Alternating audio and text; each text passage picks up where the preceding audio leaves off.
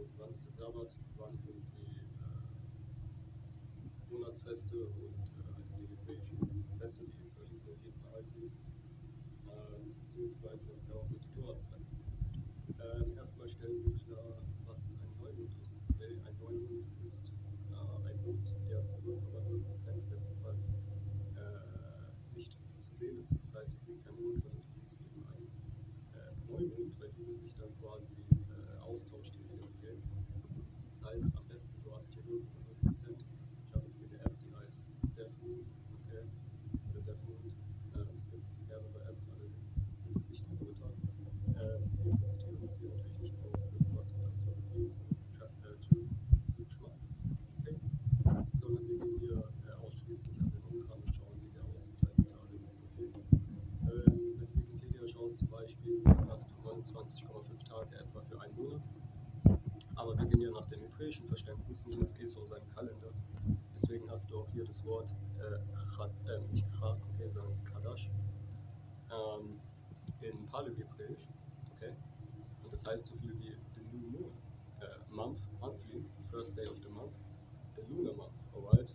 Äh, also wenn du jetzt Lunar Monat eingibst in Wirst du auch zu dem Thema etwas aber wie gesagt, konzentriert eher auf die Bibel und auf das einfache Verständnis, als äh, irgendwas da vielleicht misszuverstehen, okay? Wie gesagt, hat nichts mit Esau seinem Kalender zu tun und auch nichts mit, äh, wir wissen jetzt exakt, wann, nächster Monat, wann im nächsten Monat ein bestimmtes Fest ist, weil es wird sich erst herausstellen, je nachdem, ich habe jetzt hier zum Beispiel die App, wenn wir schauen, okay, hier siehst du, ich muss kurz das Bild wegmachen, hier siehst du zum Beispiel äh, 0,0%, wie gesagt, das ist der beste Fall. Und wenn wir zurückgehen, schau, siehst du jetzt äh, das Datum oben in der Zeile. Und gehen wir zurück, zurück, zurück, zurück, zurück, zurück, zurück, zurück, zurück. Okay, das machen wir jetzt, bis wir beim nächsten Neumond sind. Okay, äh, Ausgangspunkt ist hier Berlin, Deutschland. Wie gesagt, man muss nicht mal auf die ältesten Apostel oder irgendwelche Brüder schauen, die da das hochladen, sondern du kannst eigentlich für dich selbst schauen. Äh, je nachdem, wo du halt bist auch. Okay, und wenn wir jetzt hier hingehen, haben wir jetzt etwa 29 Tage, bis wir bei einem Mond von 0,2% sind. Okay, und das ist der letzte Neumond gewesen. Okay, äh, wir haben hier Berlin. Okay, also das wäre so der letzte Neumond. Okay, wir haben jetzt äh, Unter, Untergang gehabt von Freitag auf Samstag. Also diesen Monat war ähm, Neumond von Freitag Sonnenuntergang bis Samstag Sonnenuntergang. Okay, äh, woher wissen wir das? Ja, wenn du in der Bibel schaust, dann hast du ja ganz klar äh, im hebräischen Verständnis, alles klar, Genesis, 1. Buch Mose 1,31 And God saw everything that he had made, and behold, it was very good, and the evening and the morning were the sixth day. Also auf Deutsch übersetzt, weil wir immer die King James Version benutzen, äh, vom Israeliten die Bibel bestenfalls. Und Jahwe oder die Kräfte, also Jahwe äh, beziehungsweise die Kräfte in der Mehrzahl, also die Götter, sahen alles, was wir geschaffen haben. Wir sagen immer, es ist äh, Gott selbst, die Engel und äh, die 144.000 und Jahwe Shai, der Sohn Gottes, was sie gemacht haben. And behold, schau Plural, it was very good, es war sehr gut. And the evening and the morning were the sixth day. Also sprich, es wurde morgen, weil es Abend wurde. Siehst du? And the evening and the morning were the sixth day, der sechste Tag. Wir könnten jetzt hier auch zum fünften, zum vierten, was auch immer gehen. Es kommt darauf an, dass wir jetzt hier auf, darauf hinaus wollen, was heißt es, wenn der nächste Tag beginnt. Das heißt, dass der Abend begonnen hat. Das heißt, sobald der Abend der Sonnenuntergang ist, wenn du in Google zum Beispiel deinen Standort eingibst, Sonnenuntergang zum Beispiel jetzt, wo ich bin, München, dann siehst du exakt auf ähm, den, die Minute genau, das kann dir Esau sagen, okay, äh, wann Sonnenuntergang ist. Und das ist auch dann so. Ein gutes Video in meiner Tora-Playlist. Ein Bruder hat ein Video drüber hochgeladen, ähm, dass er das also auch beobachtet bei ihm auf dem Balkon. Dann siehst du genau, wann die Vögel äh, auf den Bäumen sind und die sind auch keine Minute eher oder später auf den Bäumen, als wie der Google da normalerweise angeht heutzutage, okay?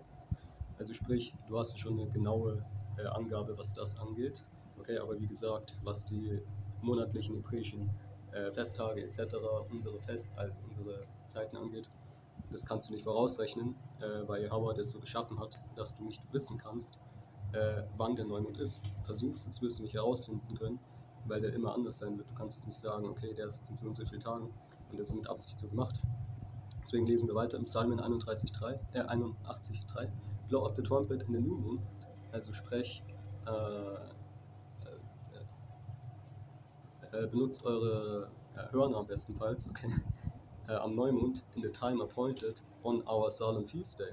Also welche Zeiten ihr da also feststellt, indem ihr den Mond beobachtet, wie bereits erwähnt, ähm, zu unseren Festtagen. Okay? Und dann schauen wir uns noch andere Bibelverse an. Äh, Psalmen 89, 3, äh, 37. It shall be established forever as the moon and as a faithful witness in heaven. Selah. Okay. Sehr interessant. Und es soll aufgestellt werden, sozusagen der Mond und die Sonne. Mond und die Sonne. Die Scripture sagt dir was von, äh, die Sonne freut sich jeden Tag darauf, ihre Bahn zu laufen. Okay. Es soll für immer gesetzt sein, der Mond. And as a faithful witness in heaven. Ein Zeuge im Himmel. Das heißt, wenn Sabbat ist, dann ist Sabbat. Der Mond hat es, der Mond hat es bezeugt. Okay? Das heißt, es gibt keine Fehlfeststellung äh, äh, oder sowas. Es gibt es alles nicht, weil Jahwe den Mond und die Sonne perfekt hingesetzt hat und du quasi als ein Zeichen das für dich da ist. Okay? Also wie gesagt, komplett unabhängig von Esos Kalender. Außer natürlich, wenn wir danach gehen, äh, zum Beispiel jetzt, ne, du zählst jetzt zum Beispiel sieben Tage ab, okay, dann musst du halt dir sowas wie einen Kalender zeichnen, um das machen zu können du musst ja dann auch weiter äh, wissen, okay, wann ist der Sabbat, okay, weil ein Neumond ist quasi wie ein Sabbat, ähm, aber es ist nicht ein Sabbat, verstehst du? Weil es gibt nochmal die wöchentliche Sabbate natürlich, dazu natürlich auch weiteren Videos. Und dann gibt es halt den Neumond, welcher als ein Sabbat ist. Das heißt, du darfst nicht kaufen, verkaufen, nicht schwer tragen, du darfst nicht arbeiten, theoretisch, gar nicht. Okay, ist eigentlich Todessünde und so. Ähm, und, du, und du darfst ähm, keinen Sex haben, weil Sex gilt als äh, ja, halt sozusagen Spaß, der nicht für Yahweh in erster Linie gedacht ist. Kann man sagen, so, okay, ja, wir, wir geben es uns, weil wir jetzt Yahweh deine Freunde machen wollen oder uns besonders lieben, das ist alles Schwachsinn. Äh, in erster Linie ist es Pleasure, alles klar. Und danach vielleicht irgendwann mal so, okay, weil die Natur so schön ist an Sabbat und so. Äh, sogar die Tiere wissen, dass, dass am Sabbat äh, sozusagen Ruhe ist, verhalten sich dann so wenn du mir glauben würdest. Okay. Äh, und so weiter und so fort. Aber glaub mir, äh, sowas ist auch verboten. Okay. Dazu hast du sechs Tage immerhin. Ähm, gibt da noch mehr so in dem Bezug, äh, aber ist nicht das Thema so. Und wir lesen weiter. Äh, also wenn zum Beispiel die Frau ihre Tage hat und sowas, dann darfst du sie nicht anfassen, bis ihre Tage um sind und so. Äh, okay, weil sie da unrein ist und so weiter und so fort, aber es hat alles nichts mit dem Sabbat zu tun.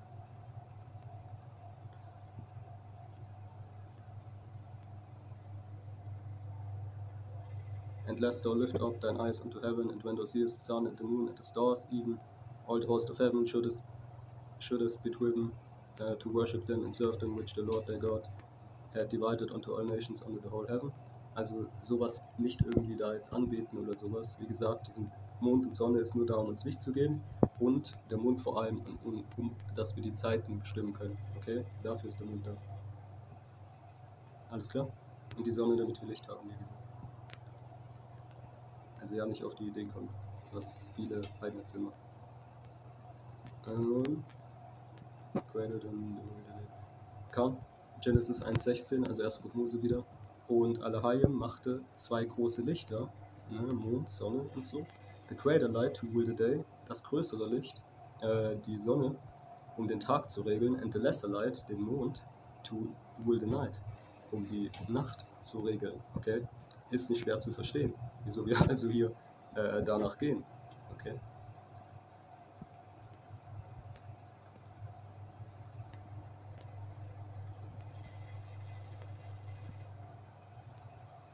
Psalmen 81, Blow Ye the Trumpet, haben wir schon gelesen. Jetzt lesen wir Jesaja 66, äh, 23, and it shall come to pass, es soll geschehen, from one new moon to another and from one Sabbath to another, von einem Neumond zu einem anderen und von einem Sabbat zu einem anderen. Wie gesagt, wir haben einmal in der Woche den normalen Sabbat, welcher dann immer an dem Tag ist, äh, wo du es eben festgestellt hast, am Neumond für den ganzen Monat, wie gesagt, so 59, 29 Tage sowas rum. Okay, weil dann hast du erstmal viermal äh, diesen Tag als Sabbat in dieser in den Wochen zwischen dem nächsten Neumond. Okay, aber wie gesagt, du kannst nicht sagen, ah, okay, jetzt nehme ich, jetzt tue ich gleich die nächsten drei Monate vorberechnen oder sowas. Das geht nicht, weil schlicht und ergreifend die, der Mond nicht so äh, eingesetzt ist, dass es funktionieren würde. Okay, das heißt, die Hauers Zeitrechnung wieder mal perfekt und unfehlbar. Okay. Hm, shall all flesh come to worship before me, said Jehovah. Soll alles Fleisch vor mir äh, äh, loben und beten oder anbeten. Ähm, mm, and afterward offered the continual word offering. Also Priester und so damals äh, das kontinuierliche äh, Brandopfer darbrachten, both of the new moons and of the uh, set feasts on the Lord uh, of the Lord that were consecrated uh, and of everyone that willingly offered a free will offering, also die freiwilligen Opfergaben sozusagen, das wurde damals im Sabbat gemacht. Okay, wir haben heute keine Opfergaben, unsere, unsere Opfergaben ist Yahushai, welcher zu Rechten des Vaters sitzt und dafür uns die Gebete äh, mit den Erzengeln, Erzengeln sage ich ja, mit den sieben, na, gemäß dem Buch äh, Tobit, glaube ich, sind es sieben Engel noch, die da also auch mit beteiligt sind. Ähm, aber in erster Linie ist es Yahushai, ähm, der da einsteht für uns, weil wir durch ihn Sündenvergebung haben. Okay? Und äh, wie gesagt, der Engel halt auch nur Befehle ausführen sozusagen. Ähm, 22 more sun, the moon, even stars made obeisance to me. Okay, das heißt, wir hatten hier schon mal geklärt ähm, paar Scriptures, die uns hier ganz klar etwas aufzeigen.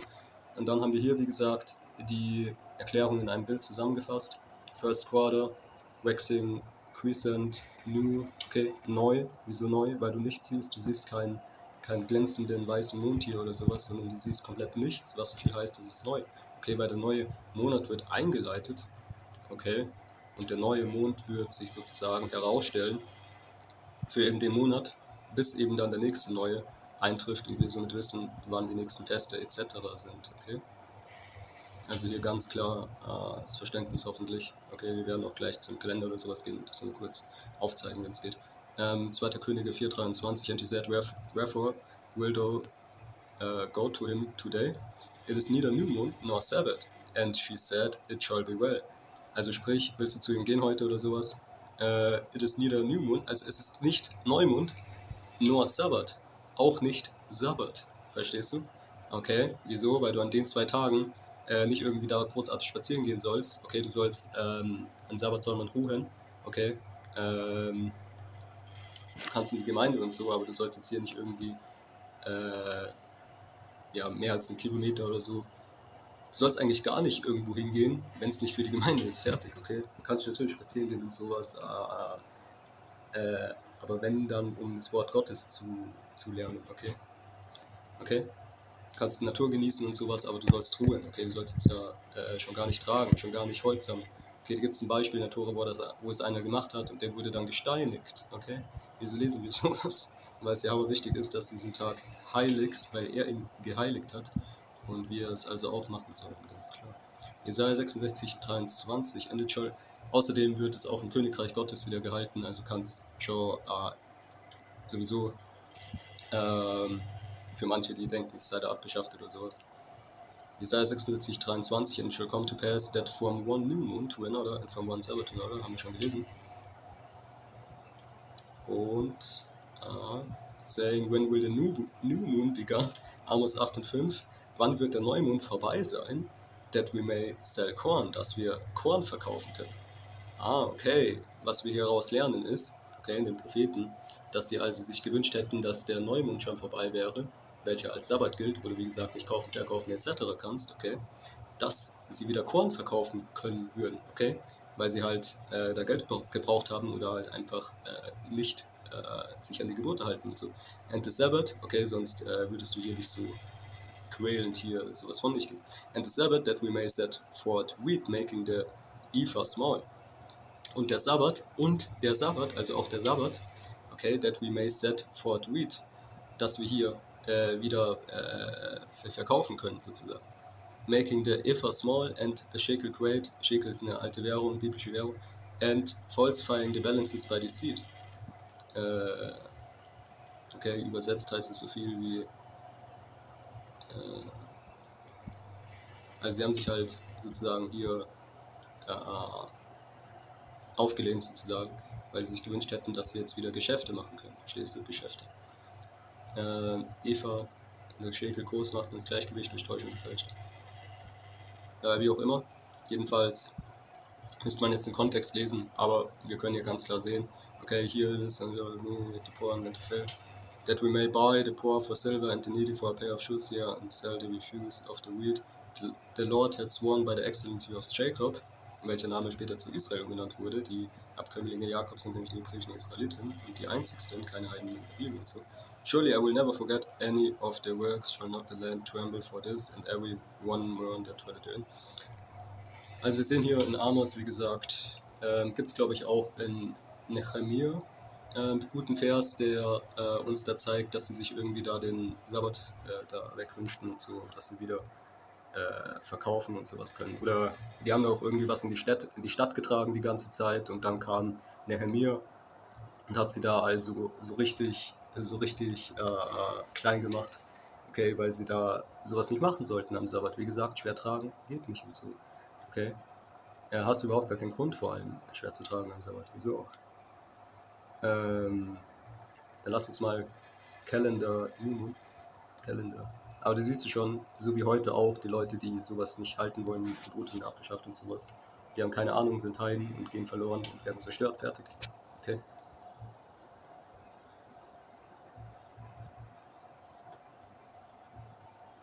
Ähm, lass uns hier ein einfaches Zahlensystem also sprich, du hältst dich natürlich, wenn du jetzt zum Beispiel äh, für dich erkannt hast, ah, okay, ich habe jetzt hier den, äh, den, den äh, Mittwoch oder sowas, okay, du hast jetzt da äh, Sabbat, okay, dann wirst du diesen Tag erstmal auch haben, weil du an diesem Tag den Neumond, weil der Neumond dann schon eingeleitet ist quasi, okay, äh, Dates, äh, okay, Gregorian Dates, also hier hast du wieder zum Beispiel den gregorianischen Kalender, Okay, jetzt sagen wir mal, du gehst jetzt hier, du hast jetzt hier den Neumond am 29.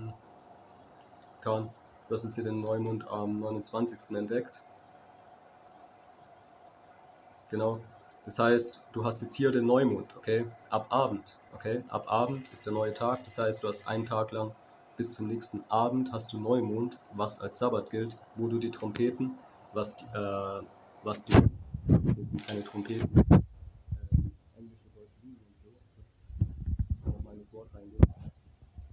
the trumpets, basically the, the okay?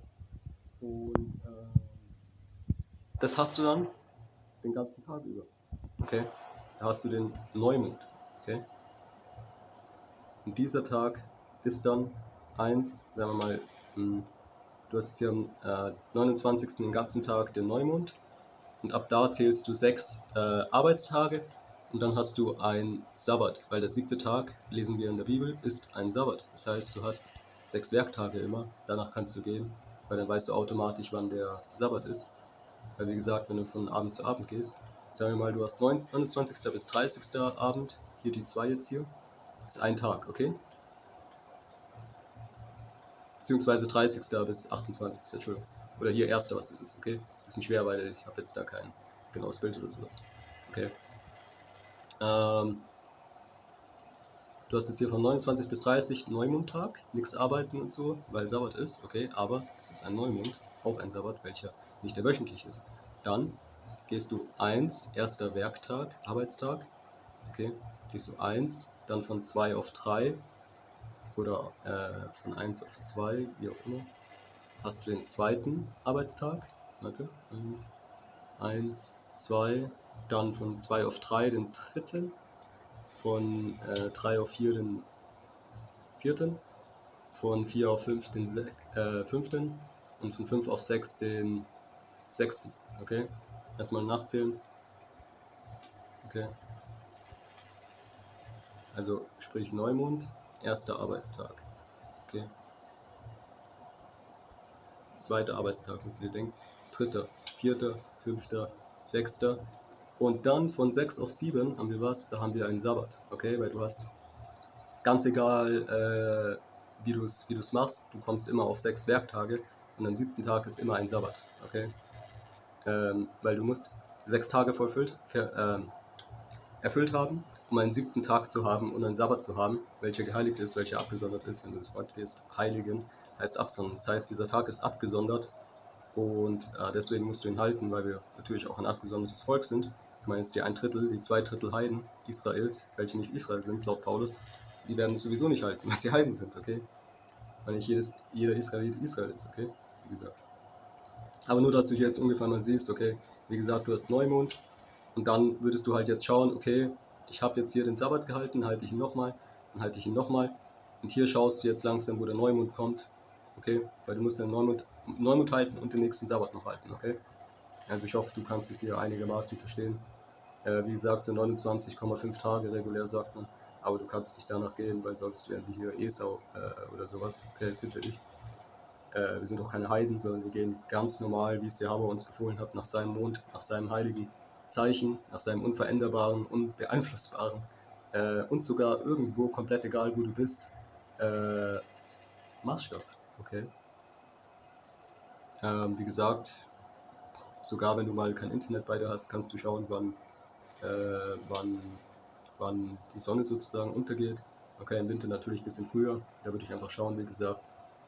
Aber ansonsten ist es jetzt hier kein Stress oder sowas, nicht, nicht schwer oder sowas. Und das war es auch eigentlich schon, so im Grunde genommen. Okay. Ähm, genau bei Fragen natürlich Kommentarfeld nutzen und so. Aber wie gesagt, hier die App kann man benutzen. Hier siehst du halt exakt so, okay, wann ist jetzt das nächste? Wenn du jetzt zum Beispiel, du willst jetzt nicht 0,2% nehmen, du willst jetzt zum Beispiel 0,0%, wenn du es hast, hier nehmen. Ansonsten musst du halt jetzt hier 0,2% nehmen, okay, was halt am meisten Neumond ist, okay? Anders kann man es nicht sagen, weil wie gesagt, du hast jetzt nicht immer hier 0,0 exakt immer dastehen, äh, scheinbar. Okay? Wie gesagt, Astrologie, Tierkreiszeichen sowas interessiert es nicht. Okay. Äh, genau. Aber ansonsten, äh, doppelte Ehre an die ältesten Apostel von Gudmüster. Okay, ich hoffe, du hast es verstanden. Ansonsten, ähm, wie gesagt, Kommentarfeld nutzen, aber ist jetzt auch nicht so schwer. Du brauchst nicht auf irgendjemanden warten oder sowas und du kannst die Sachen selbst nachschauen. Und wir haben auch demnächst ein paar Teste anstehen und so, da werde ich auf jeden Fall ein bisschen noch was dazu sagen in Englisch, wahrscheinlich eher, aber ja. Genau, da kann man sich auf jeden Fall, wenn man da meinen Kanal verfolgt, ein bisschen, an, ein bisschen was angucken. Okay, mein Main Channel ist immer in der Kanalbeschreibung mit äh, vielen englischen Videos auch so, okay? Dann habe ich noch einen Kanal mit nur deutschen. Da wirst du diese Basis auf jeden Fall mit drin sehen, weil ich da eine Tora-Playlist auch extra mit Deutsch habe und so. Okay, ähm, weil auf meinem englischen Kanal habe ich einen äh, Bruder von äh, Greg Millstone, der die, die, die äh, Lesson on, on the New Moon basically äh, da gemacht hat. Und noch eben das Video mit dem Wann ist Sonnenuntergang wirklich und so. Manche machen das ein bisschen später oder früher, so nach eigenen Gedanken und so, aber damit dealen wir nicht, sondern wir dealen nur mit der exakten Zeitangabe und so, deswegen halt, wann ist eigentlich Sonnenuntergang. Und der Bruder hat es eben auch perfekt ausgelegt mit, ähm, wie berechnen wir die Zeit überhaupt. Ja, wie gesagt, da gibt es viele Irrtümer und auch viele Heiden, die da das nicht so ganz ernst meinen. Ähm, es gibt noch eine, eine Vers, der da oft genutzt wird, um zu sagen, lass dich von niemandem richten wegen Neumonden und sowas, die doch nur ein Schatten sind von den Dingen, die kommen und so. Das ist so ein typischer Christentum, Witchcraft, Harry Potter Vers, weil sie einfach keine Ahnung von der Bibel haben und Heiden sind und sowieso zerstört werden, weil sie, wie gesagt, einfach keinen Bock haben, fertig, okay? Aber damit haben wir nichts zu tun. Okay, wir sind die hoffnungsvollen Ausgewählten 145.000. Würden wir es nicht wissen, würden sie es nicht machen. Äh, tja, ich glaube, dann gäbe es keine kein Buch der Offenbarung, okay, und auch kein Gospel, wonach wir uns halten müssen, nämlich das einzige äh, Evangelium, was uns gegeben ist, nämlich äh, von den Aposteln und Ältesten von Gemülzern, okay, die direkt unter Jehovah stehen, welcher natürlich auch hebräischer Israelit aus dem Stamm Juda ist, so wie Paulus auch und alle anderen, die in der Bibel da sprechen. Deswegen haben auch wir die Wahrheit, deswegen haben auch wir natürlich die Gebote, sonst hätten wir vor allem die Wahrheit äh, nicht. Verstehst du? Also dann schon.